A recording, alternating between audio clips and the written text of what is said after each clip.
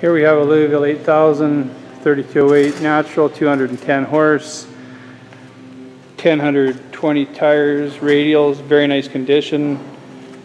Uh, Cancade 16 foot box and hoist, completely steel box including the floor. Nice shape, a little bit of surface rust along the bottom. Um, the biggest thing wrong with this truck, honestly, is how rusty it is mechanically. It's great. It'd be a super good truck for around the farm. That's what we used it for for years. Um, there again, five and two transmission. The box has the wide swing open door. It does have a roll tarp on it. Air brakes. Uh, very nice 1020s all the way around and just really no use for it anymore. So uh, if you want a super little farm truck around the around the farm, especially, this would be great for you.